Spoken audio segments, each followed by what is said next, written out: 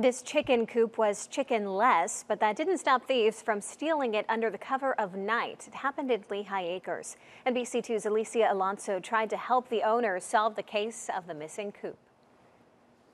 Ashlyn Cook says her fiance had a gut feeling someone was out here early this morning. The couple says the coop was sitting on the side of their house. While it could have been taken by mistake, they're working to get it back.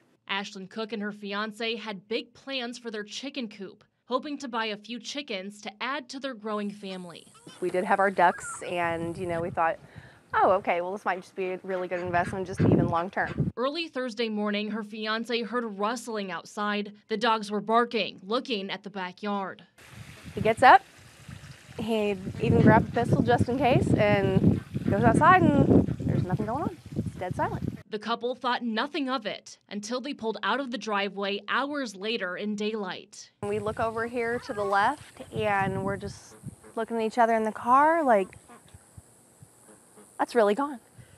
That's really gone right now. The chicken run was left alone, but Cook says the coop was handmade, valued around $500. Adding the piece was massive in size. Whoever took it must have had help. It is a definitely a team job to even put this into a vehicle, let alone, we just couldn't understand why someone would choose 3 a.m. to move a chicken coop. Cook is now filing a police report. She plans to talk to neighbors with cameras who may have seen something. So we'd just like to have it back.